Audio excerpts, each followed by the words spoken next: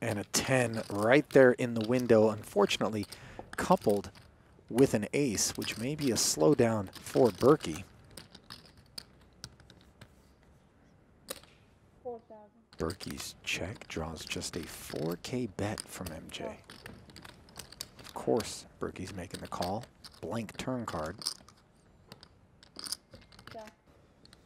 And Matt will play pot control, checking back. But how successfully would Berkey be able to rep them? And MJ feeling pretty confident.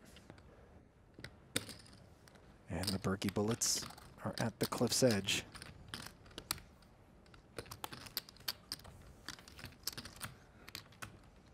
Goodbye, sweet friends.